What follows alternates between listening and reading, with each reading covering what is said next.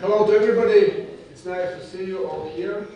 Uh, my name is Sandis. I'm uh, a journalist from Latvian television, and we are doing environmental program. program. And also, besides that, uh, I did and we are doing also documentary films. And one of that was about the Baltic Sea, about Baltic Sea problems. So I may be not completely in charge with uh, Baltic Sea problems, but uh, I know the topics. That's that's why I'm here, and will I will try to, moderate um, our discussion today. Uh, the program is we'll start with some panelists, some presentations, and afterwards there'll be some discussions here, panel discussions. So I hope that uh, you feel free, you feel good. Have this afternoon, and um, so please uh, feel free, just give questions, uh, any comments, uh, whatever, how you feel, just say it. And because our topic today is uh, green infrastructure and how it works, and, and we will start with uh, Anda Rusko. Please, uh, applause. Yeah. Hello, everybody. So my name is Anda Ruskule. I'm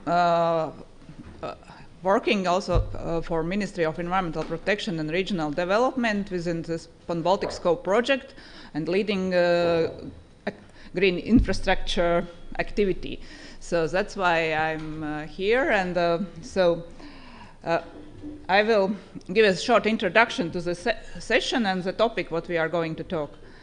So, a little bit about the background. Uh, of course, there are many reasons why to talk about green infrastructure, but there is also a legal uh, background or, or policy context uh, behind it. And so, uh, what probably is most important for us in Europe, it is uh, EU biodiversity strategy, which uh, the target two of the strategy also address green infrastructure. So it's about um, uh, uh, maintaining ecosystem services and restoring green infrastructure by 2020.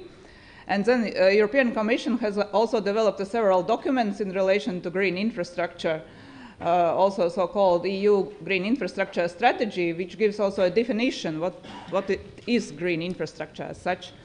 And so it says that it is a strategically planned network of natural and semi-natural areas and other environmental features which are designed to and manage to, to deliver a wide range of ecosystem services. Uh, and uh, it incorporates green space and blue space and uh, also other features in terrestrial and in marine areas. So this definition says that green infrastructure is something which also refers to marine areas. And that's why probably in the, uh, also in Pan-Baltic Scope project we have been trying to, to work on this aspect. Yeah, but so what is marine infrastructure? Is it a network of existing protected areas which uh, forms the basis or yeah, core of green infrastructure? Shall, this be ecologically or biologically significant marine areas, which, which is also another network uh, initiative uh, brought up by uh, com- uh, Convention of Biological Diversity? So is it all benthic habitats of high conservation value or core habitats for species, which gives a basis of green infrastructure, or, or these are areas important for ecosystem service supply? So these were also the questions which we tried in our Pan Baltic Scope project to, to answer, to understand, and uh, this was a reason also for uh, this session. So the aim of this session is, first of all, to introduce uh, to the Pan Baltic scope approach of mapping marine green infrastructure, and this will be done by myself and my colleague Didzis. So we will present our results, and then we will look at other examples, uh, similar related uh, to, to map, um, mapping of marine uh, green infrastructure. So we will have a look from a Latvian case, uh, from presented by Solvita Strāķe from Latvian Institute of Aquatic Ecology. Then we will look at uh, uh, green infrastructure in relation to Swedish uh, MSP by Jan Schmidtbauer Crona. And then we have also, uh, we, we will try to look at the green infrastructure in relation, yeah, to call Oscar, Oscar, Oscar uh, Törnqvist from uh, uh, Swedish Geological Survey. So he is at home. He he had a, his uh, defense of his uh, PhD uh, thesis today, and so he could not be here. But so we will try to find out how this relates to to green infrastructure, how it supports climate refugia, and so uh, look in that dimension. And then we want to discuss opportunities and current limitations for applying this green infrastructure concept in MSP. It's uh, together with you and with our panel, which will be present here. And uh, we got also a task to formulate some kind of recommendations or uh, um, future vision, what, uh, where, how to proceed with this issue of uh, marine green infrastructure, so which should be as output of our session. Yeah. So it's for beginning, yeah. yeah. So this is, uh, please stay under, this is joining you, so on the next, uh, yeah. So, uh,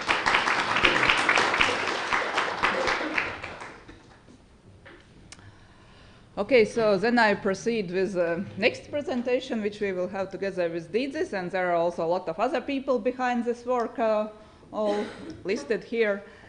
And uh, so how we uh, defined marine green infrastructure and Baltic Scope project. So as I told already introduction, we had a different perspectives how to look, it, look at it, and we had the, at the first workshops there was a lot of discussions what we actually mean with that, but somehow we, we came to a, uh, a formulation uh, uh, that we de define marine green infrastructure as a spatial network of ecologically valuable areas which are significant for ecosystem health and resilience, for biodiversity conservation, and multiple delivery of ecosystem service.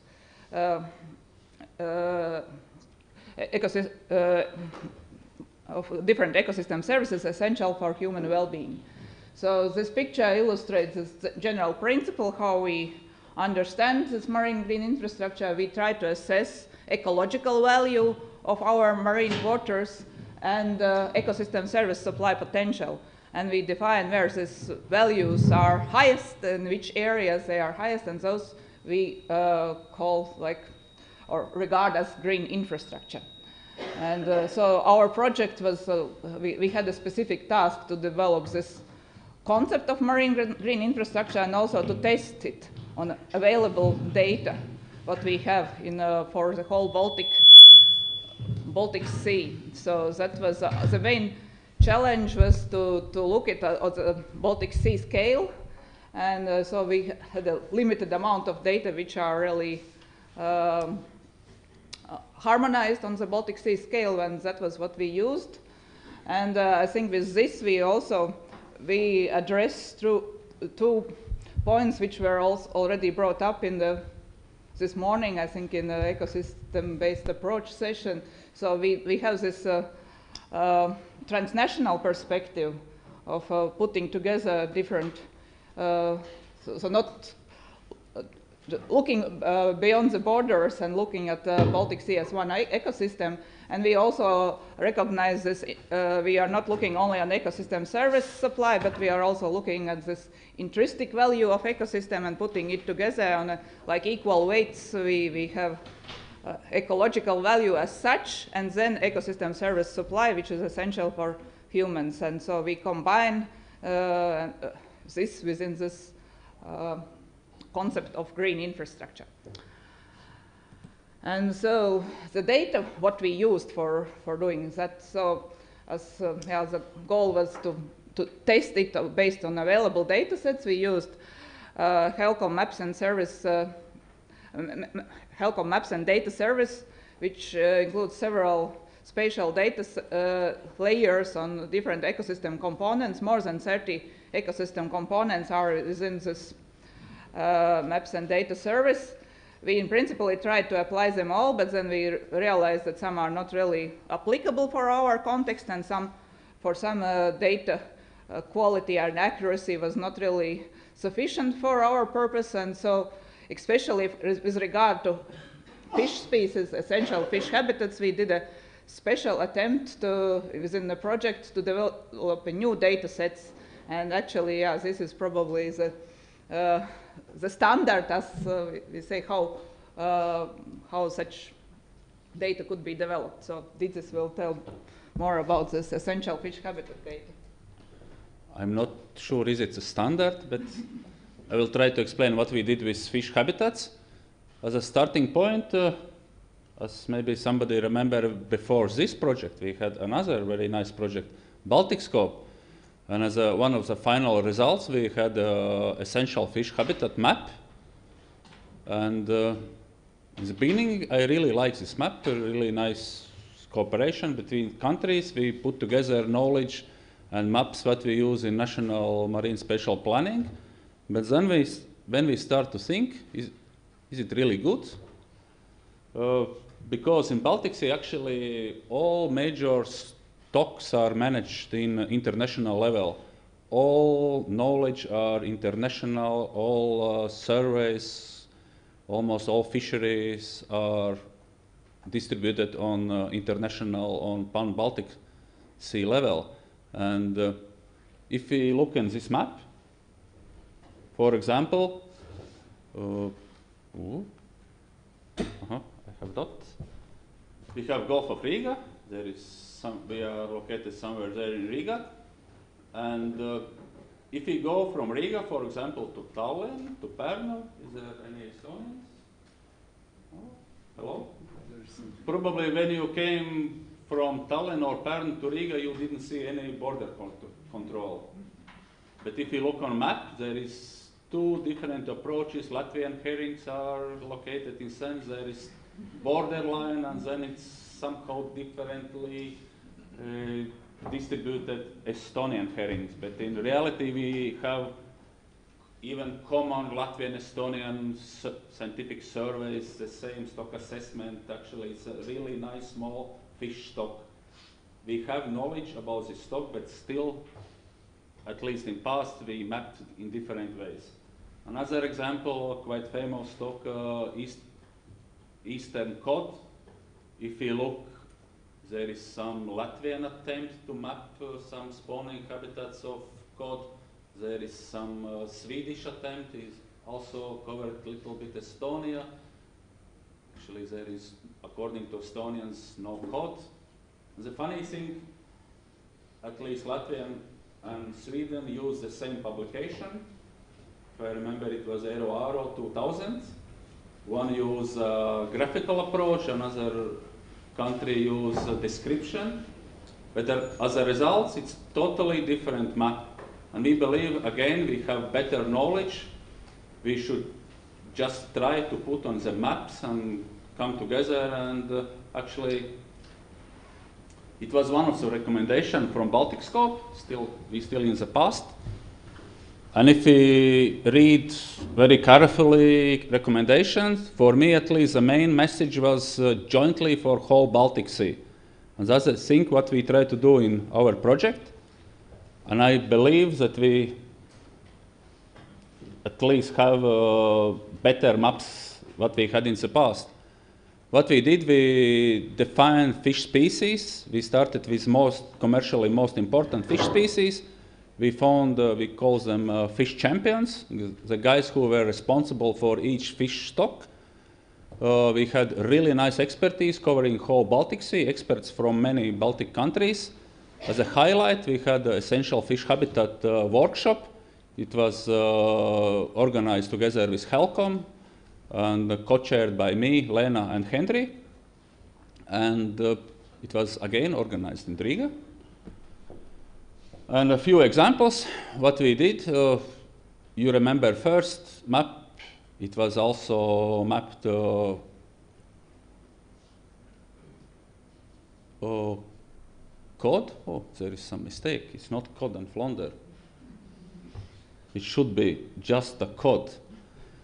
And if you remember this map, oh, somewhere in that point, some Estonians mapped there is nothing, Latvians made some attempt, Swedish. And actually last year our experts were more pessimistic comparing what we mapped a few years ago, and we believe this map is much more better and uh, up to date. And we also mapped uh, herring, It's also, aha, no, I realize it's Baltic flounder, not cod flounder. It's Baltic flounder. It's actually also a map is quite unique because, uh, as you know, Baltic flounder it's the only endemic fish species in Baltic Sea. Baltic flounder you could find only in Baltic Sea, according to the latest science. So that's what you could see. That's the first ever map, distribution map of Baltic flounder. So we made uh, many maps for cod, herring, sprat, European flounder, Baltic flounder, perch and pike perch. As a final result, we made also aggregated map. What we did with map, we gave to Anda. Yeah, and that was very good input for our green infrastructure mapping. So with that, we covered the uh, fish uh, component in, uh, in our green infrastructure mapping, but on the other components like benthic habitats, uh, birds and mammals, we uh, wanted to yeah, uh, make use of uh, existing HELCOM datasets. And uh, so you will see how it um, uh, resulted. And so, as I told in the beginning in the concept, we had these two, two aspects to, to map. One was ecological value, another was ecosystem service supply. So the next step was to, to assess the ecological value. And so we first um, uh, selected criteria against which we will assess uh, all these components if they contribute to, to, to, particular criteria. So that means they are uh, essential for, for mapping this ecological, ecological value. So um, so we assessed all the components of 30 components in relation to seven um, ecological value criteria like biological diversity, rarity, importance for uh, threatened, endangered, and declining species, and so on. So you see the criteria. We used a matrix approach. We simpl simply, uh, it, it, was assessment in a binary scale, uh, zero or one. So either this component co contributes to particular criteria or not. And so shall it, is it considered as a, you know, characterizing this criteria.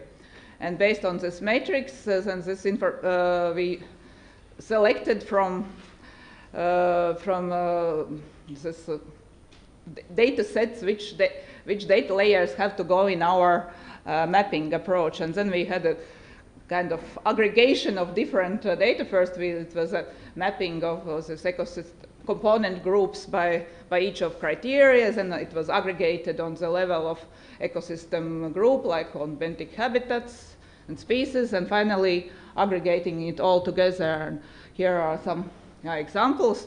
The benthic habitat, which looks pretty well, fish, because it, uh, it also looks pretty well, because we had a, a even better uh, birds was not so-so, but we still use them.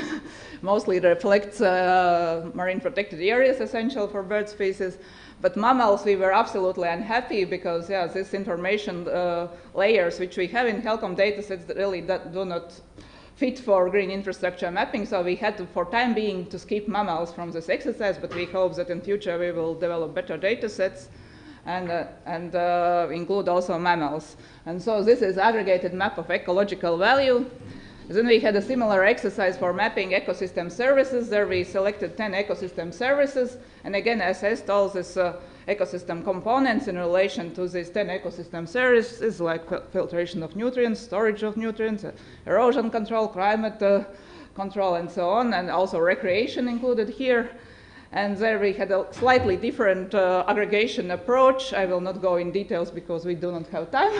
but anyway, we had so resulting like uh, map of benthic habitats contributing to ecosystem services, uh, eco uh, uh, bird habitats contributing to ecosystem services, and aggregated ecosystem, the, the, map of these ecosystem components which are more, most or uh, ecosystem structures which are most essential for supply of ecosystem services. And then we combine these maps of uh, uh, ecological value and ecosystem service value and uh, got an aggregated uh, green infrastructure map. Uh, mm, but we had to decide, yeah, where this threshold is, what, what is high value, and this was actually kind of arbitrary decision to, to, to take for experts. But so we decided to choose approach that we say 30% of the Baltic Sea space, which is highest value from ecological value perspective or from ecosystem service supply perspective, we consider as a green infrastructure. So that was a, a approach for the, uh, decided in the project can be differently done, but that's, that's what we decided to use. And in conclusions, yeah, to say, we see that this uh, approach has a really good potential to be, a, uh, and to, to support implementation of ecosystem-based approach in MSP, firstly by improving the knowledge base on marine ecosystem structures, functions, and uh, relation to service supply, and thereby contribute to relational understanding of uh, interactions between ecological and social uh, systems, and it also supports development of uh, spatial solutions in MSP by you can uh, by applying this knowledge and information you can guide potentially um, harmful developments guard away from ecologically highly valuable areas. And uh, this approach also of this Baltic scale mapping uh, supports cross-border coordination, coordination of planning solutions uh, by, in respect to ecological values, and it can be also applied in SEA uh, for assessing single or also cumulative impacts, as it was also demonstrated before in cumulative impact session by Lena. But we uh, realize that there are still a lot of work to do, and the methodology shall be further developed and improved. First of all, we should work on uh, to improve the data quality, and so that our result is as good as the input data which we have. And you see, if uh, currently we use this bird data, which are not really representing uh, the whole marine area, and so it has an effect on actual uh, result of the map.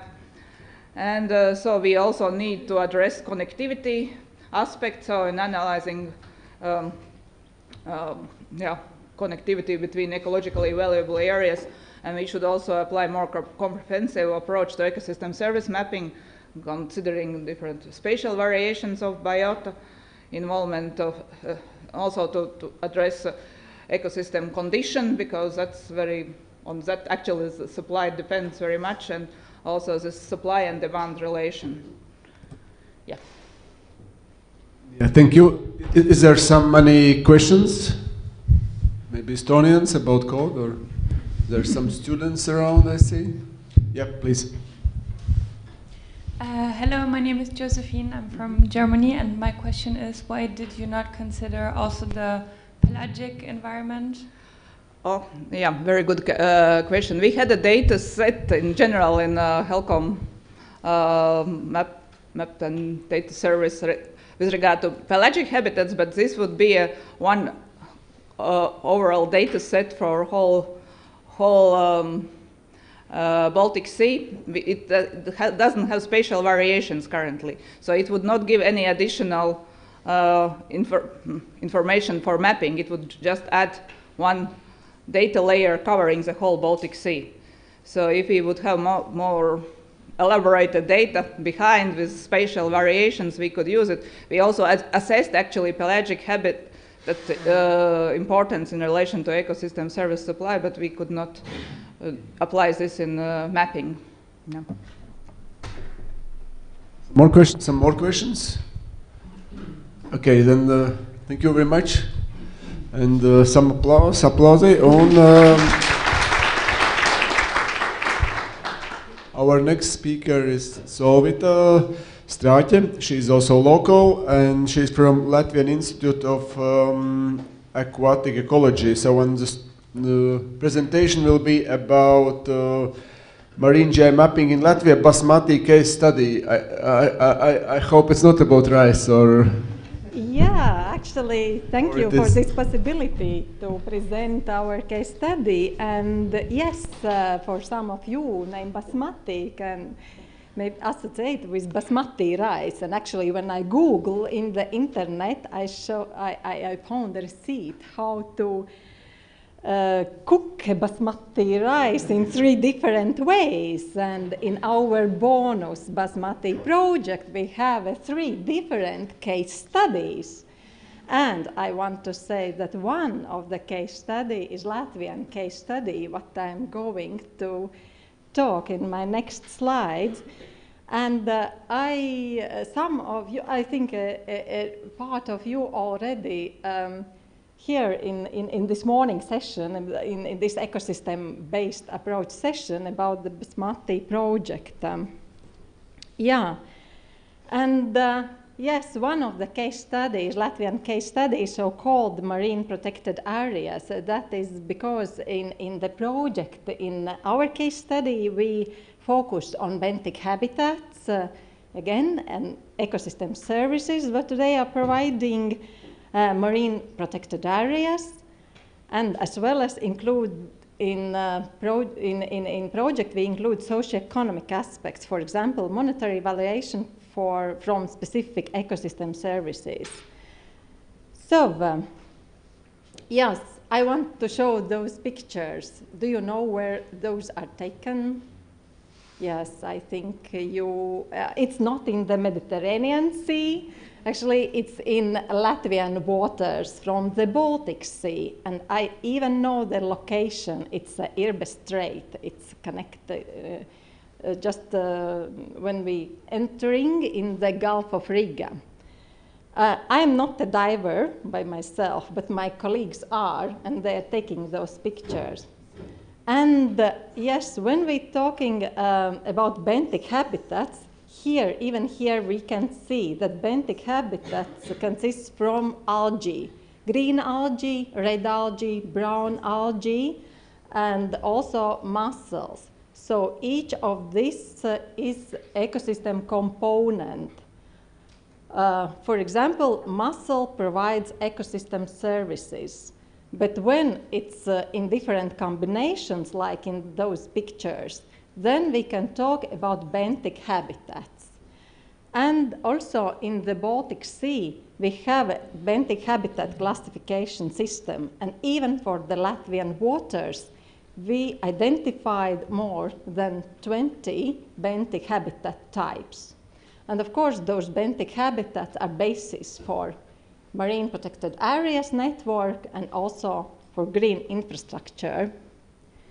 Um, in the next slide, I will show you this. Uh, on the uh, first, it seems very complicated graph diagram, but I will try to explain you that uh, in in this uh, first uh, column, it's uh, ecosystem components. What I already said, here is listen all components, for example, mussels, algae, and even pelagic components. It's zooplankton and, and phytoplankton. Usually, when we um, making such uh, diagrams, we often, very often, I have seen that it's from ecosystem components goes directly to functions, for example, mussels, uh, filtrate. Um, function is the filtration and then goes further to ecosystem services. What we did in our case study, we include additional column, it's a habitat. So as I explained already in previous slide, because all those ecosystem components in, in, in different ways forming habitats.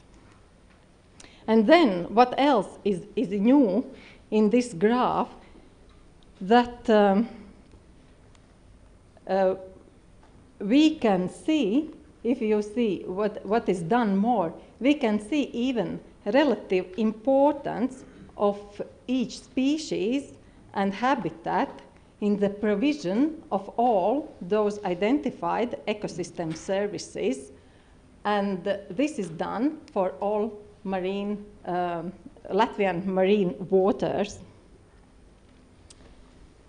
Uh, we can also pick up even single ecosystem services, for example, um, nutrient filtration. And then here we can see that um, this uh, um, we can go back uh, so till ecosystem component and see how big is, uh, for example, mussels part in, in, in, in provision this ecosystem service. And yeah, it goes uh, through function. What else is important, what we work further, it is we adding spatial dimension. It's very important for MSP. Um, if we have uh, data and, and benthic data, we can um, map the benthic distribution according this cl classification system. Uh, it was done to use the, by our um, uh, monitoring data collected in, in, in institute and all available different project data. And that means that we can add those uh, ecosystem service and make those spatial dimension maps. Um, yes, and uh, what's the key message that, um, of course, as more detailed data we will have, as uh, better maps will be available, and um, the most, uh, of course, all, all the time, the data comes, um, uh, we are um, analyzing it and, and uh, the most recent data we use should, no, we should use for mapping of ecosystem service supply and green infrastructure.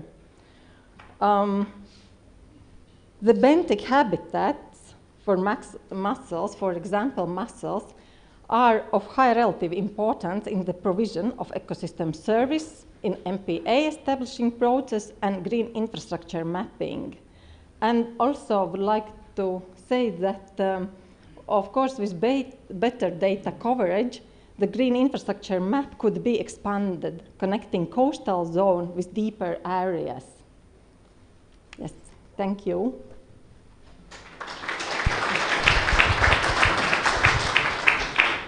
Is there some questions or, or comments or, or everything is clear? Oh, please.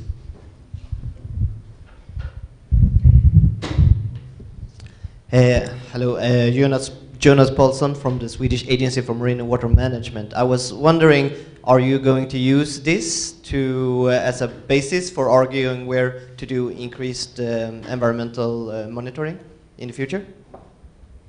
To increase environmental monitoring? Yeah, uh, in the areas where you see that you don't have enough data cover, will you, will you oh. try to suggest to whichever government to increase the monitoring in those areas? Thanks.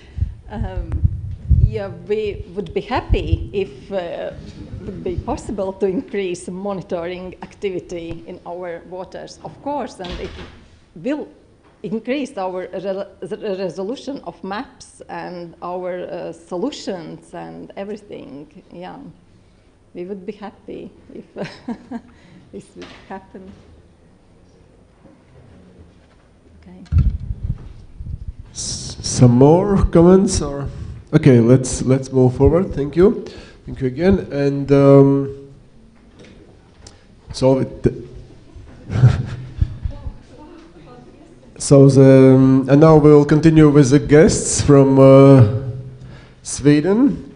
Jan Schmidtbauer Crona is uh, representing Sweden in the HELCOM and uh, uh, Jan will present approach applied uh, in Swedish MPs, MSP for addressing the marine green infra infrastructure. Is this correct? Yes. Okay, the ground is yours. Thank you very much. Uh, yeah, so I'm Jan from Sweden, working at the agency responsible for Swedish MSP. We're delivering plans to government, uh, now in December, so we're really busy. Uh, but I'm going to talk to you about uh, how we have managed the green infrastructure in the Swedish plans and is answering the question of how to boost the MPA system. Does everybody know what the MPA system is? The Marine Protected Area. The idea of having a network of protected areas uh, protecting the core biodiversity of the sea. And the first question has to be Does this system need boosting? What do you say? Yes. Yes. Anybody against? Yes. Yes. ah, the answer is yes. Yes. And uh, then because because now we have this. Uh, I'm trying this kind of not really a jump scare approach, but uh, because because without green infrastructure we won't be fed. Because you know we have the provisioning ecosystem services. We eat the fish and the mussels and the algae perhaps. And without green infrastructure the world would be dead. Yeah it's the worst case scenario. Death uh, but ultimately green infrastructure is about life to protect life have you seen the fifth, fifth element the movie no, you could do that. Uh, without green infrastructure, then we have this aha part. It's kind of from, is it Swedish to kind of when you realize, ah, that's the thing. So it's aha without green, it doesn't really fit the melody though, but without green infrastructure, aha. okay, we sing it all together, then I continue my presentation. Uh, without green infrastructure, the world won't be fed. Green infrastructure, the world will be dead. Without green infrastructure, ah, ha, green infrastructure, aha. Uh, okay, I continue. Uh, we. Uh, the point is that we won't be able to reach the environmental targets if we only think about the MPA system. We have to think in a broader context and that we have biodiversity outside the protected areas.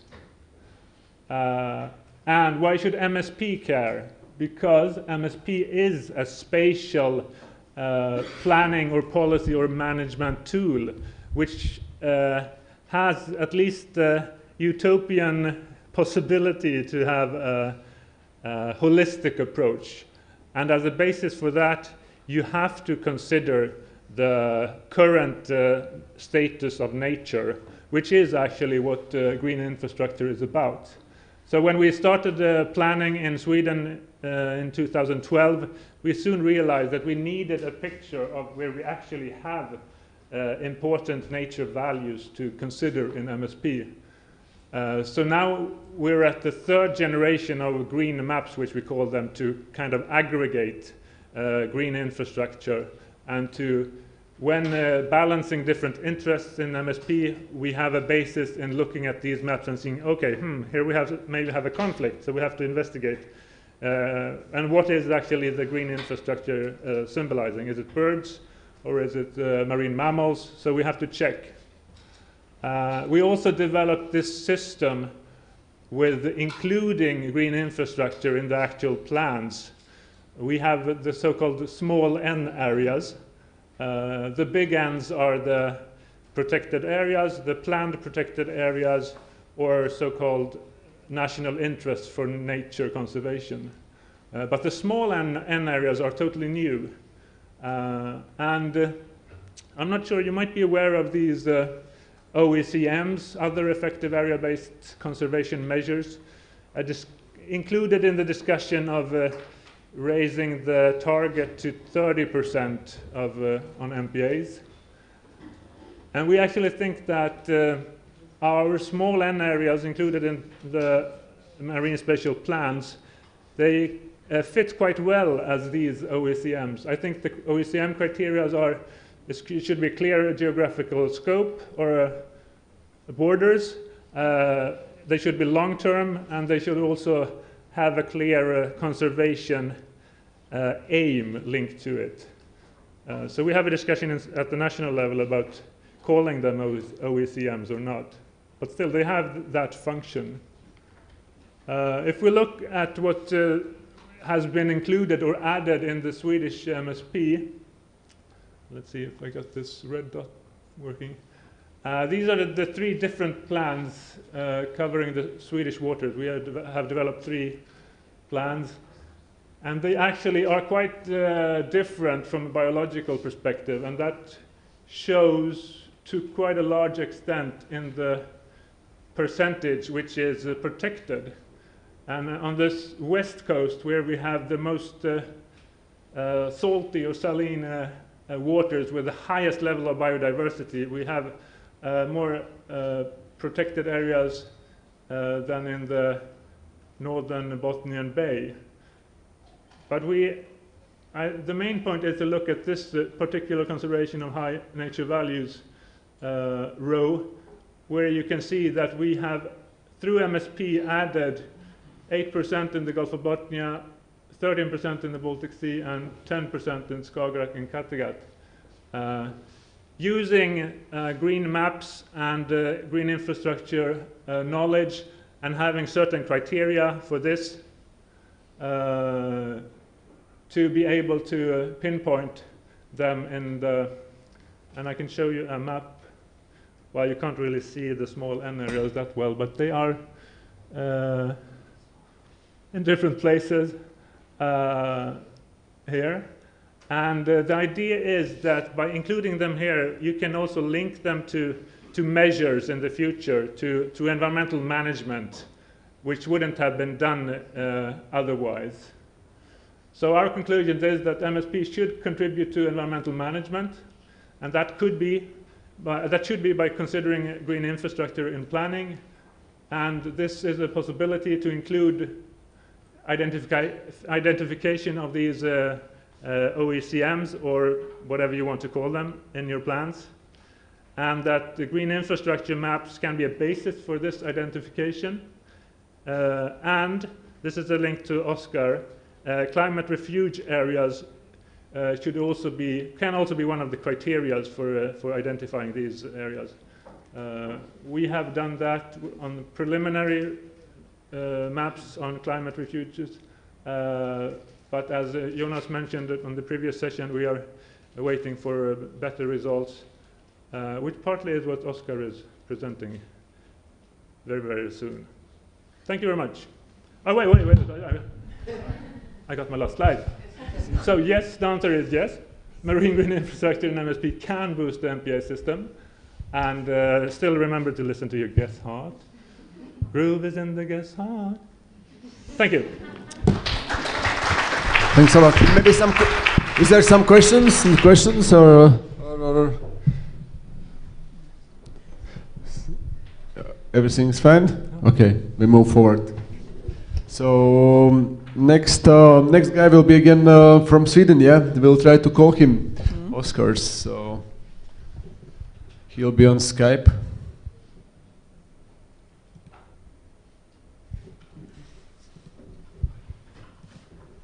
Okay, so uh, yes. Uh, so I'm here to talk about uh, future green infrastructure considering climate change. Together with Gothenburg University, the Swedish Meteorological and Hydrological Institute, and the Swedish Agency for Marine and Water Management, we try to future-proof marine spatial planning by assessing coming ecosystem changes. Click.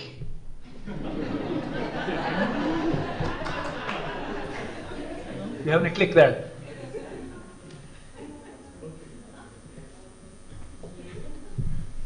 We are. Oh, yeah. Did you press uh, the button? Yeah. yeah. Right. Yeah. No. No. No. Back. Back. Yeah. yeah just just one one click. Uh, sorry. Go back. So yeah, uh, so in the ClimeMarine project, a set of new climate models have been produced, and in Pan-Baltic scope, these models have been used to model future ecosystem components. Now we can click again. From what the models tell us, there will be future drastic changes to the Baltic ecosystems. We have used two scenarios and model changes for the year 2100 with respect to salinity, temperature, Secchi depth, and nutrients. One small click. Yeah. Uh, yeah. Uh, the first scenario represents, do you see a graph there? I, I, I don't see it. is there a graph? Yeah, it should be. Okay. Uh, in the first scenario, um, it represents a concentration effort to mitigate change and approximately two and a half centigrades of global warming. A small click. Yeah. The second scenario represents a less fair situation where society fails at making drastic changes and we reach approximately four or five centigrades of global warming.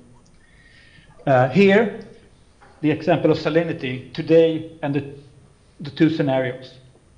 The scenarios take economy and society into account, as well as water management, etc. From current trends, the more severe scenario uh, to the right actually seems more plausible. In these examples, Uh, we see that increased precipitation and runoff creates lower salinity in the whole Baltic region. Click.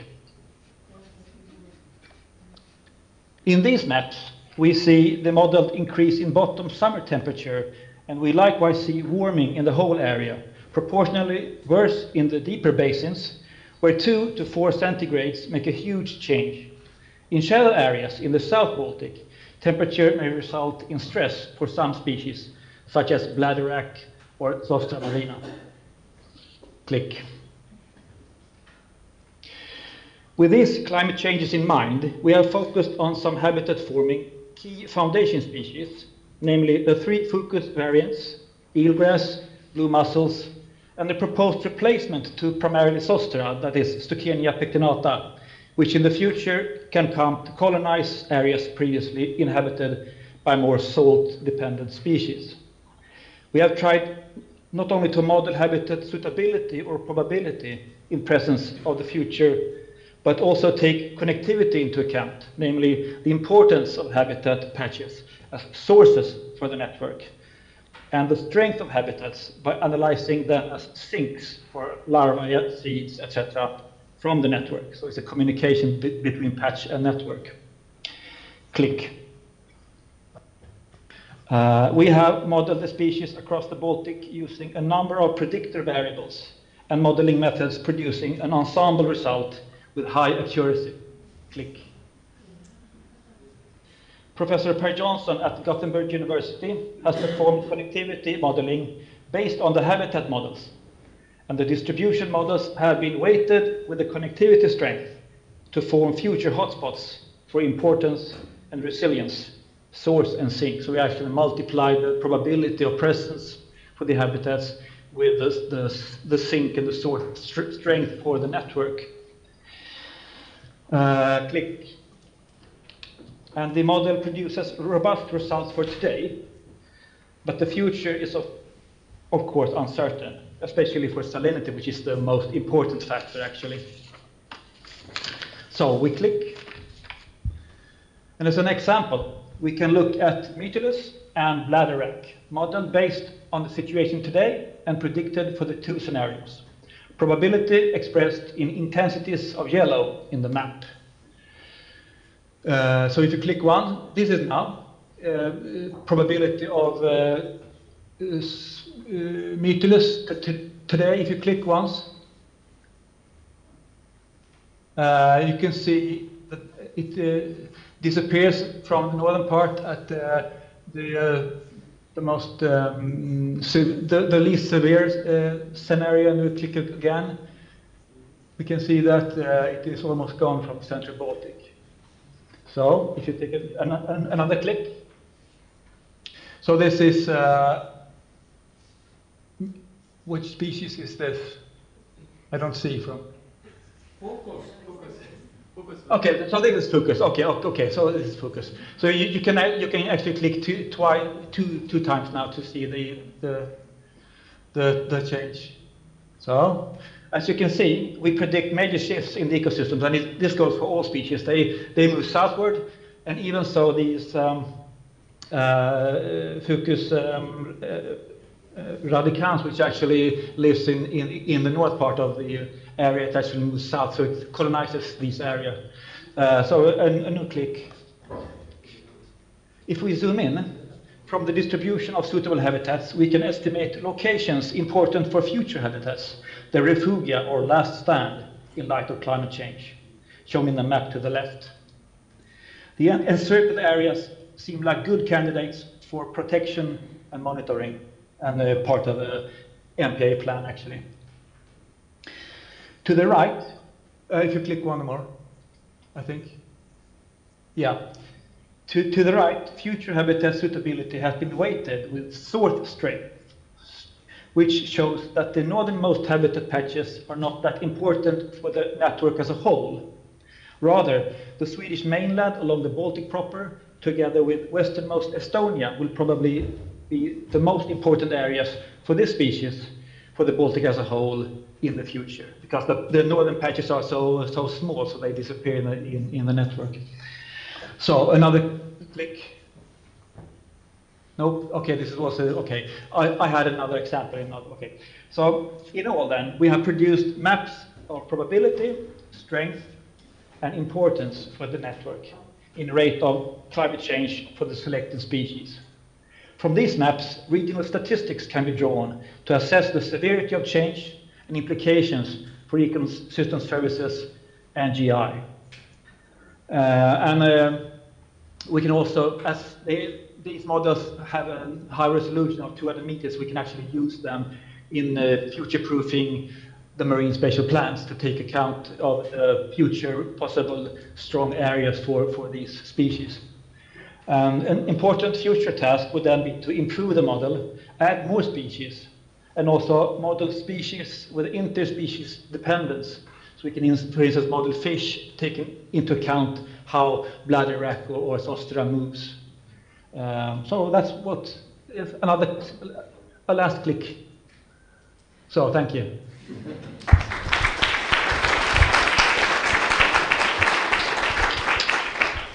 Some questions or in, do you have something to ask uh, to Oscars? How was your How was your PSD today? Uh, I'm a little bit uh, tired right now. Too too much uh, bu bubbly wine and uh, too much. it's okay. It's okay. We don't see you, so we're just here. So. Okay. Thank you very much.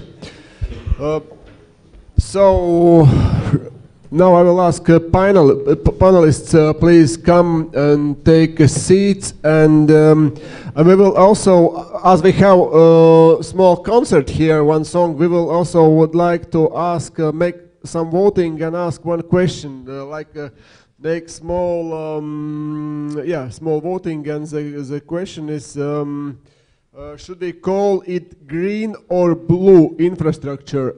And uh, Martin, could you please uh, point where we can vote it, where we can vote, vote and uh, give our voice or our our opinion. So yeah, it is here. MDI you see on screen. So observe. Please open it and uh, please give your uh, vote. And but but but panelists, please uh, slowly take uh, take seats, take chairs. Slowly or fa fa fast, up to you. Yes, six chairs. So.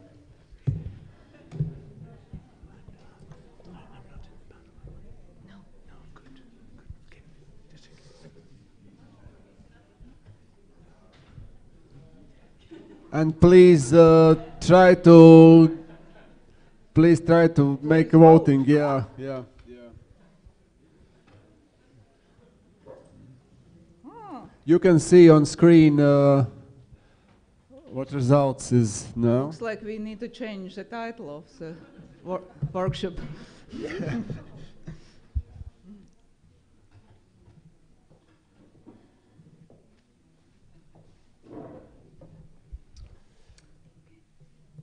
Okay, and uh, I will introduce um, our panelists, our uh, discussion um, participants. So we'll start with the ladies. Uh, Christine, uh, yeah, so, um, yeah. So, sorry if I uh, not correct. Uh, you are from UNESCO, yeah? Yes, I work for. can we give a microphone also to hear? Well, maybe you can hear me. No, it's better because it's online also. Um, so yeah, I'm Cristina Cervera. I work for IS UNESCO in the MSP Global Initiative, uh, specifically in the Western Mediter Mediterranean um, case study. And uh, I have a background in environmental sciences, and then I specialized in MSP through the Erasmus Mundus master course. Very shortly, maybe then uh, we'll start from yeah from this maybe from yeah from here.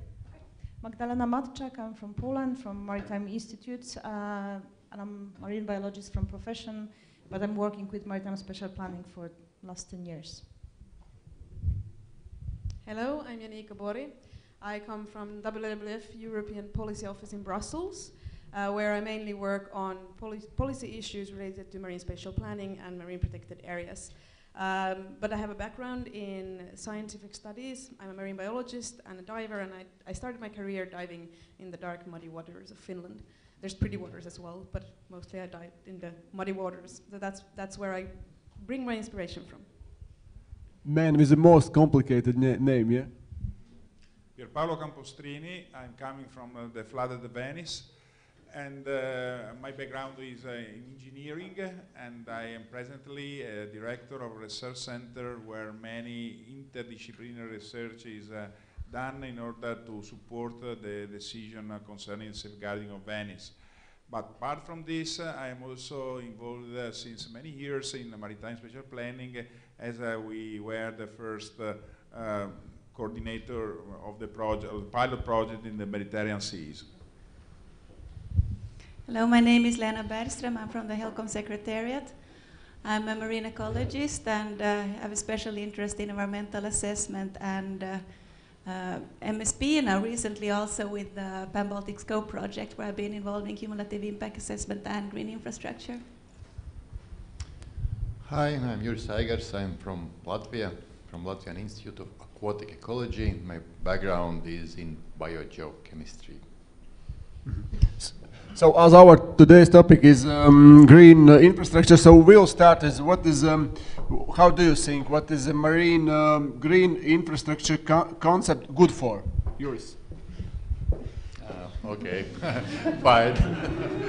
uh, actually, yeah, I'm, I'm a bit of different opinion.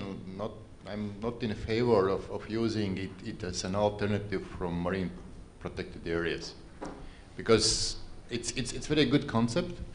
It's, it's very useful concept, but in, in a slightly different way because the name infrastructure by itself gives a meaning. So somebody is using this infrastructure, spawning in one place, ri rising children in another place, feeding in third place. All those places are equally important. So in, in, in essence, if we map this infrastructure, we have much better understanding what we should look for, what we should protect. And marine protected area for me is something last resort. Everything is lost. It's a last bastion. It's, we, we protect what's left. And, and this is not the case. We should protect even before everything is lost. And, and, and in green infrastructure or whatever, blue infrastructure, I don't care, it, it gives a possibility to, to really look into it and not damage one part of, of, of whole. Mm -hmm. um, maybe Janika, uh, Janika Borg, what, what's your opinion on that? I think, um, as we saw from uh, Jan's presentation, it, it can be used for improving the MPA network. Uh, I think it's also good to have parallel uh, approaches, so what we apparently are going to call blue infrastructure, perhaps. Um, it, it, doesn't have to be an either-or approach. It's good to have this mapping exercise so that we really know what's going on. And I, I take the opportunity to show to you how little we know. So um, this is a summary of a recent publication from September this year, uh, Protecting Our Ocean, Europe's Challenges to Meet the 2020 Deadlines. This is a WWF publication where we assessed the situation of MPAs right now, and uh, you shall grab a copy when you leave. Uh, the main thing is we are only protecting less than 2% of Europe's seas with management plans at the moment. So you know the designation number is higher than that, but the management plan is, uh, development is lagging behind. Which brings us to the point that if we look at the green infrastructure at the same time as we also look at the MPAs, we, these things can indeed boost each other. Mm -hmm. Magdalena, can you please continue? Um, okay, so I'm, i was also a part of the Pan-Baltic scope, so I will not say a bad word about the green infrastructure co concept. Uh, but I'm also a planner. Uh, we have uh, finished just the Polish uh, plan uh, some uh, months ago, and I have some experience with our mapping. We didn't use the green infrastructure concept in Poland, but we call it a valorization. So, but just like the methods were the same. But I'll. Um, I think it's, it's something different than just a network of protected areas because we are thinking about the ecological processes like this connection between the spawning and nurturing so that the connection between the areas should be protected because they, they, they are like a chain. But I also, I don't know whether Oscar is still online, but I, I liked very much his, uh, uh, his uh, presentation because green infrastructure, which we were thinking and we, which, we, we, which we've done in our plan, it was just a mapping of the status quo at this moment.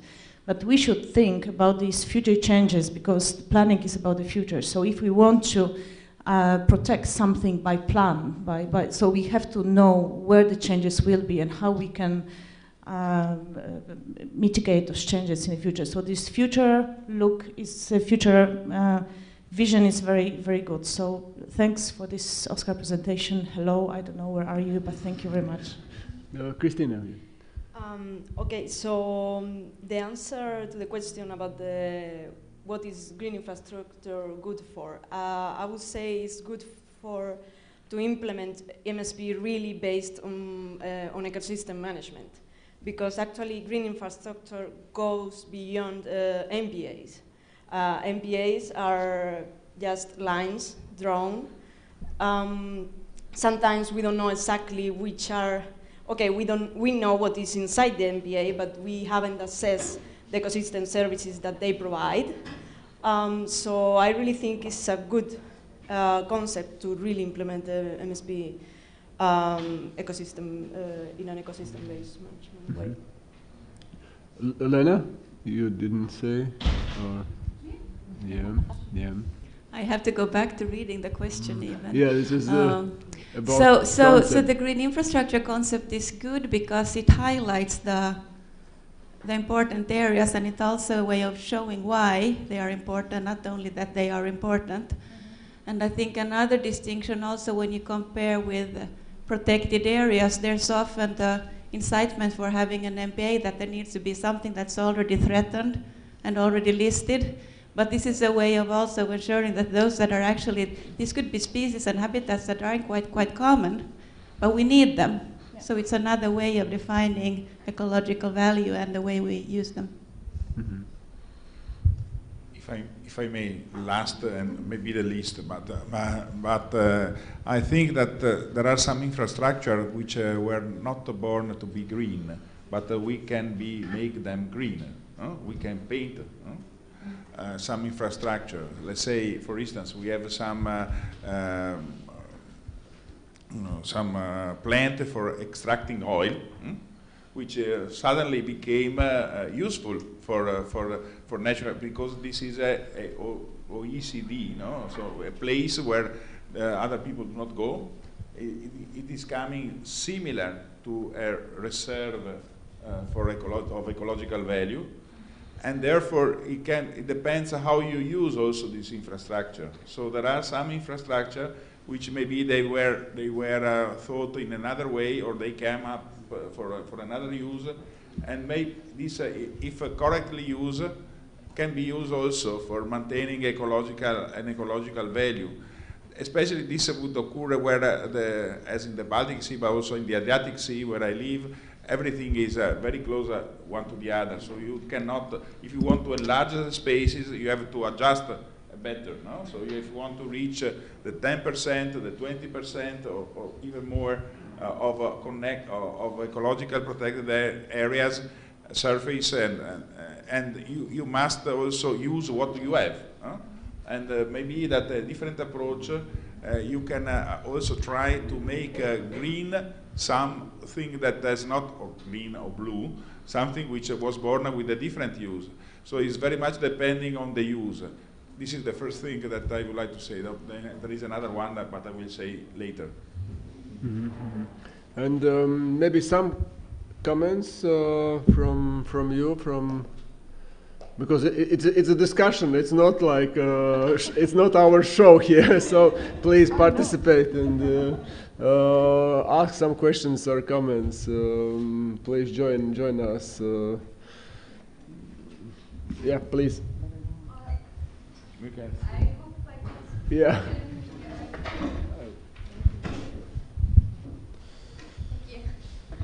So we are talking about green infrastructures to like kind of reach the threshold of, of 20% of uh, protected places. But are these, do you think these infrastructures would have the, could have this same level of protection that MPAs would offer?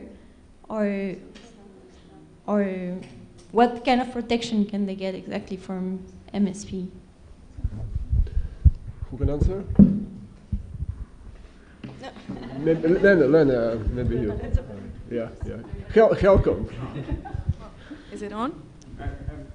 Yeah, it's on, right? Yeah, it's, yeah, it's It works. Um, I mean, I would think, just uh, based on what I heard, that it's not the aim to protect these areas. That it's more the, it's a supporting thing. So, so it's um, as Lena said, to also recognize the value of things that are not yet threatened, but not included in the protected areas network. So I, I, think because I think I have used the, the, the, the, word protection within our plans. So it's not the protection like in, in a sense of maritime protected areas, but protected in a, in a, uh, within a plan like that, that we don't plan any activities that will harm or uh, hamper the, the, these ecological processes. This maybe protection is the wrong word, but yeah, but, not statutory protection, okay? Some more comments or Juris, uh, I think you want to join the discussion. Yeah, I see. Oh, did this, did sorry, sorry, sorry. No, no, okay. Uh, so the next question is about uh, uh in uh, in schedule is about current limitations, um, obstacles, reasons for not mapping uh, marine green infrastructure. So, do you see any? Um, yes. Well, I can give an insight about the limitations um, actually it's not uh, the concept of green infrastructure on the marine environment is not still uh, in developing uh, phase. Um, and some people are talking about um, applying the way of doing on land on the sea, but uh, it's not the same environment. I mean, in the sea we have the 3D, three dimensions, and actually someone already asked about the pelagic environment. So probably one of the limitations is this 3D considerations that we need to have. And also the answer to that question was that they didn't have uh, uh, quality data for the pelagic uh, environment. So probably another limitation is the data. So quality and quantity maybe, I don't know. Mm, others, Juris? Yeah. If I may, the, the also, I would like, uh, really, I'm curious of which kind of concept are we applying here, because uh, uh, when you think about an infrastructure, you see something solid, which is a place in some way, you know, in, in a place. And while uh, in, this, in this kind of things, uh, everything which could help, you know, the, the, the better mapping and the better use, uh, sustainable use, because as you said, uh, maintenance is, is about sustainable use and not about protection. No? So also the satellites which observe the what, what is happening is a part of, of observing infrastructure which must be green in the sense that uh, help you in uh, managing uh, in a proper way, in sustainable way, this environment. So the concept of marine infrastructure is quite, should be, uh, uh, in my own opinion, uh, a bit wider no? in order to include also the immaterial infrastructure, so the connection we should be able to see the, the ecological connection with, between different places. The MPA itself uh, do not uh, mean so much. Is uh, the, the, the, ecological connection between uh, the different MPAs, which can give uh, really the difference, because it helps uh, in a proper way the, the full environment to, to develop and to be. And co-evolve in a sustainable way with, with the, use of the environment by our, our human species that we are. Uh, so in, in this sense, uh, I think that uh, the reason for not mapping is, is our fault, is our lack of, of fantasy in order to see what, uh, what we have uh, in our hands in order to understand better to, and uh, to provide a common use of this system, connecting the different pieces in order to have an infrastructure which can allow us to, to understand, to see, to understand what is happening, and to try to put the, through the maritime spatial planning uh, the, the, correct things in, in, in order. No? So, we, so there are, you cannot overlap everything. No? So you, you put in order the things and you say, okay, the, which is the vocation of this area? What are the, the places where this kind of, uh, of uh, as, we, as we saw, species can stay better or are the vocation of these areas no, for this? And what are the vocation of, of the other things? if we the, the green infrastructure is any green infrastructure is any way of, of uh, um, which connect the, the, capa your capability to have a better uh, understanding what is happening in the in the whole area that you are considering uh, in uh, in the sea. And okay, when once you have understood, you can also say, okay, let's stay stay there, ships stay there fishermen stay on the other side, uh, and uh, here we can put the other things. But uh, the, the, green infrastructure alone, uh, it, it, seems to me that uh, in, in, the sea there is a little sense to nominate one single point as, as green more than the other. Also something which was born as not green at all could become green if, if properly used. Yeah, for sure. I would like to add also, I agree on what was said with, with the data and knowledge and how you understand it, and, and also from the, if we go back to, to the limitations and reasons for not mapping, one, one obstacle is still in communicating green infrastructure. We are already here in the room hearing that people wonder what is it, and it's also people think that I work with maybe transportation infrastructure, can miss it with other concepts when the word infrastructure is used. So this is also a way that it's not as a concept, not widely used yet, even though it appears in, in different uh, policy contexts. And also there is a bit of a difficulty when, when it's first, it's a concept that was transferred from terrestrial environments to the marine environment. But the bio biology of, the marine environment is so different in terms of uh, connectivity and and we have three-dimensional system as was mentioned. So, so there are many things that you cannot directly transfer from the terrestrial setting and to the marine setting, although the use of the same word would suggest that you can. So one also has to realize that when you talk about green infrastructure in the marine environment, you need to redefine it as well. So that also takes some time.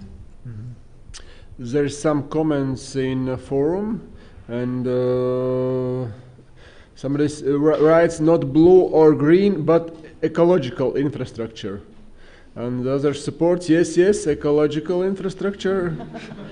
uh, there is some questions. Uh, for example, what is the effect of using the term infrastructure in green, blue infrastructure in terms of public perception? Does it help people get engaged? Uh, people know what infrastructure is, or is it confusing? So that is uh, better worded than I just tried to explain. So thank you. Yeah. Okay. thank you. Yeah. Uh, to continue on Lena's point, um, I hadn't heard about green infrastructure that many times before I came here. And yes, maybe the wording isn't the best one, but this happens quite commonly. It's quite okay to change the word. Um, so I think, yeah, the limitation for, for now being one of them would be the terminology used. Um, but looking at this from a policy pr perspective, I would say that it's most welcome to have more information about green infrastructure in all, all EUCs because that would be very helpful for all the MSP plans being made right now, certainly feeding into something that's a big hole lacking in most of the processes. So I, from that perspective, I, I see it, it uh, as a good chance. Mm -hmm. And the third main question in our discussion is about uh, what actions can be taken at national and international level to support integration of uh, GI concept in uh, MSP. So if I go first on this one, uh, I gave it a little bit of a thought before I came here on on uh, how this would be met in Brussels, and uh, I think based on what I've seen here today, it's it's a good starting point, but it's still a little bit of a seed. So um, maybe the packaging isn't quite right. Maybe that what you have there is good, but it should be packaged in a easily approachable way. But uh, I would say that after that, uh, this is definitely something that um, I think the Commission could be interested in uh, looking into and, and maybe providing as guidance to member states if they see fit. But this is the type of things that they sometimes do with uh, different sectoral approaches. Mm -hmm. What Polish uh, colleague says? Hmm. Um, well, I, I, have to say that uh, uh, I think we, we, we, we tried from the beginning to integrate this concept, maybe not, as I said, we, we didn't call it the green infrastructure, but uh, it was almost the same in our Polish uh, planning uh, process. And uh, when you start from the beginning, that this green infrastructure concept, it, it became like a, one of the paths the planning process goes through. So I think that the, the, best action is just to integrate it from the beginning, starting from the valorization of the, not, not, not to jump with the green infrastructure in the middle or at the end of the process. So not to leave it for the strategic environmental impact assessment, but following the ecosystem-based approach, integrated from the very beginning, and then these concepts start to be just naturally a part of the process. So this is like we've done in our case, and I hope that in 10 years, when the Polish plan will be revised, it will be still the case. Uh, otherwise, uh, of course, uh, uh, I'm not talking here about the funds which should be given to the research and so on, but uh, if you want to keep this uh, topic on this um, um, MSP level, that, then, then just awareness rising and keeping this good practice, I think it's, it's, it's enough. Yeah.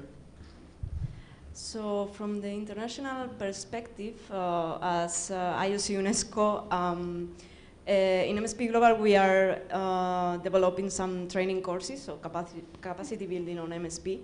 Um, of course, we always mention ecological and biological uh, significant areas, but uh, we didn't, I mean, we usually don't talk about green infrastructure, and maybe we should start doing it and incorporating that term uh, inside the, the whole ecosystem-based approach for MSP. So that will be for the international perspective. And then for the national perspective, I know a case of a country that uh, actually is Spain, that when transposing the MSP directive into the Spanish legal system, they, uh, they, they add the, to the, this uh, Article 8 of the MSP directive that we have all the activities that we have to include in, in MSP, they add also uh, elements included in the green infra infrastructure strategy. Uh, we still don't have that elements and we don't have developed the mapping for green infrastructure. When we have it, we will directly, legally include it in the MSP plan. So that's nationally uh, a good point. Mm -hmm. Mm -hmm. Pier Paolo, please. Your. I mean, uh, again, uh, it's a matter of wording. I, I agree with you. So uh, I think that uh, in principle, uh, at the sea, I would not see to, to build any infrastructure which is not green you know, in some way, no? Because uh, uh, today we cannot simply build something, even a transport line, no? between a, a, ferry line between a, an archipelago, no? connecting we have uh, to make uh, this kind of, of, which is useful for, for the connection of people, for the mobility, for the economy. No? It's necessary to, con to connect the people. Uh, also, this, this kind of, of, infrastructure, which is a mobile infrastructure, is made of, of ships, of ferry boat, uh, and must be, must be as green as possible. No? So it could be also used as a, a, way to understand better, as I said before, no? because you can put some instrument on that. So that the line, even uh, um, I, I do not see uh, any possibility to build an infrastructure in, at uh, uh a new one in, in, the, in the marine environment which uh, is, is not green at the moment. So because uh, uh, uh Eh, eh, ah, also uh, an extraction plant of, of, gas of oil, no, which is considered from somebody. Oh, this is the worst thing. is more is the is a black, no? It's black like the oil. No, it's not green. It's black. Also, black infrastructure like that should be should be seen in a multi-use context try to find the way it can be useful for, for the environment as well. No? So it's the multi-use of the infrastructures that is the real key for, for, the, for, for, the, for the next period. And I, I believe uh, that we should look, uh, we should try to have uh, uh, at least a little uh, green use of any infrastructure built on the sea from now on. Mm -hmm, mm -hmm. Okay, uh, Lennon, what's your opinion? Say something. Yeah, we can, we can. No, not not wrong, but but uh, probably I will say something which is not in line, but you have all said, because I think that that, that the the ideas and the, uh, are used already. So we, we at least what I have seen, those those environmental values are taking account in, in, in spatial planning. We don't call it green infrastructure, but, but, but still we, we consider what's there, what can harm those values, and, and based on that we can adjust activities which are planned in, in certain areas. For, for me, it seems that, that, that up to the point we have knowledge and data, it's, it's already there. And, and, but the green infrastructure concept is, is, is very good to communicate that. Because if, if you have some environmental assessment book attached to marine spatial planning, well, you, you need some, some skill to, to understand what's written there. But you can deliver this information in much more easy, understandable way by using this concept, by showing that it, it, it does matter. Those, those who have written, they, they know what matters, but, but those who read not always are capable to grasp this uh, significance. And, and then this concept is, is very valuable. But that's my opinion. It's okay. Yeah, Lena, how we can move forward, how we can communicate. So how we. Uh, yes. So so at the international level, I think one, one good example was there explained uh, in the project as I was also involved in developing these essential fish habitats maps, because those are across international borders, as we saw. So that's clearly a way when uh, there's a real example of how to move forward internationally. And if you have a common understanding of what is meant by by the green infrastructure in that particular sense, it's helpful for communicating also the needs across those boundaries so that you can agree on, on it in the sense that all countries agree that, that this is something that we want. And we can define in a common way what we want and why we want it. For example, the important recruitment areas for fish in that example. And naturally, there could also be, when you go down in scale, a similar example if you look on, on smaller habitat areas when maybe you cannot see that if you, if you make some some activity in a certain area that's deteriorating the, the local habitat, maybe you think it's not so important because it's only there, it's just a small effect. But if you manage to see it as a part of a green infrastructure, you can show in the bigger picture what difference does it make. And that is also a basis when you plan, that you understand what are the implications of your decision at the smaller scale when you scale it up to the bigger scale. And it's exactly the same thinking, only you can apply it on the regional or, or the national level. And I think if you, if you have the shared understanding of, of the ecological values and the provision of ecosystem services in that sense, you can call it green infrastructure. And then you agree on what you're talking about, and in that sense, it's a communication tool to help this process.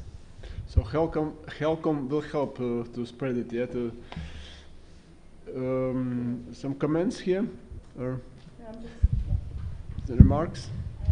Because um, uh, at least at Baltic uh, Sea region, I, I, think that Helcom could be like a, it's it's this concept is worth of deepening and continuing and deepening the methodology. And as the ecosystems are transnational, it's not a matter of the Yeah. single country, but this transnational coordination should be here, and maybe that's also good for Helcom to continue this uh, discussion. Mhm, For sure.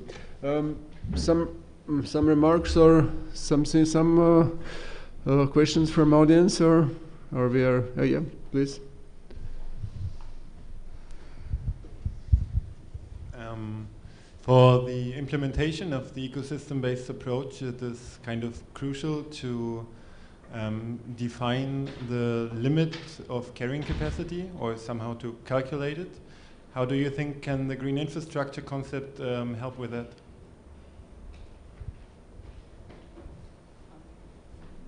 Who goes on? Uh. Actually, I think, at least according to my concept of green infrastructure, it, it's, it's, it's perfect. Because you, you build this, this infrastructure virtually or whatever, and you see this, uh, there is a spawning ground, and then you can calculate the carrying capacity of the area, if, if you have knowledge, of course. That's another thing. And of course, you need data because the spawning ground is there, but the quality of spawning ground might be not in the best shape. There's, the, spawning ground might be degraded, and then you theoretically you have one value, but, but in practice you have a little bit different. But, but this concept allows to, to for each step to, to calculate carrying capacity and, and account for it, and then you see which link in this chain is limiting because you have probably population which is not not uh, up to the standard, but, but you maybe not speculate reason why, but, but then you can go through this chain and, and you can calculate it. Okay, one more question, please.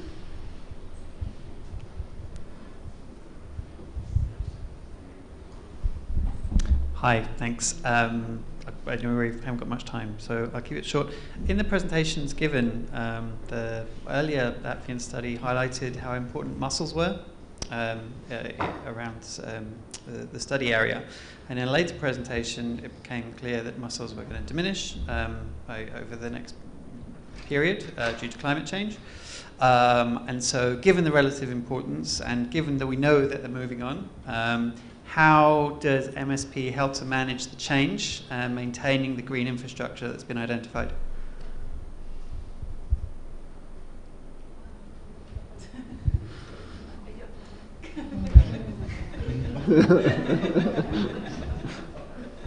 Maybe one to talk about at cocktails?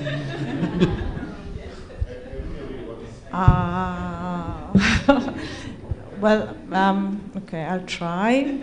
It's just just my guessing. Uh, no, maybe not guessing. Um, of course, uh, uh, Maritime Spatial Planning can cannot do anything with the climate change, like with the rising of temperature. Mhm, Nothing. Uh, I don't know what we can do. Maybe. I, I mean, this is also up to the biologists who can suggest that's what we can do as a planner, Lena, or to ecologists.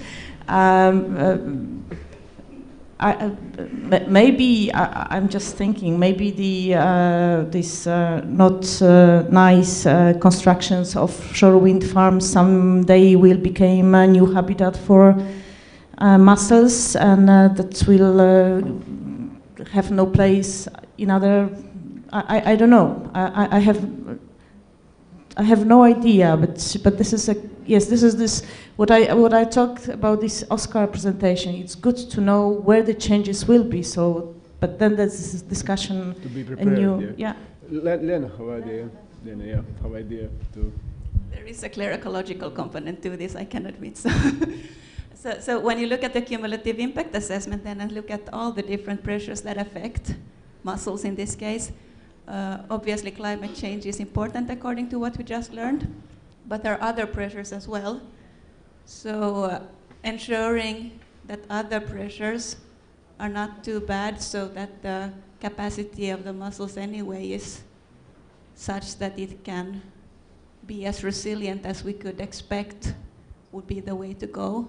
And in some cases, that is something that planning can do. In some cases, it's a clear case that you need to interact across sectors to look at the other components of the food web, how they contribute to the pressures.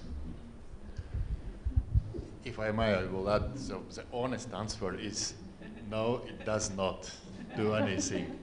Uh, but there is a, another component in it. So you, you cannot turn back changes. They will occur nonetheless, whatever you do. But uh, this, this modeled uh, map shows where those spots are. And those are very, very, very valuable because that's what left. We have been discussing this among ourselves. What's the value? And, and the value rises with, with, with decrease of availability. So if you have only small hotspots available, those are very valuable. And you can account for that in marine spatial planning, of course, because those are the areas you must protect by all means, so there is no price for it anymore. Okay, thank you for questions. Uh, thank you for your time. Uh, thanks uh, for presentations and also for for for questions. Thank all the panelists. And uh, finally, uh, should we, sh should we call it green or blue infrastructure? We see that uh, we should call it blue. So next time will be blue infrastructure workshop. Thank you very much, and thank you for your time.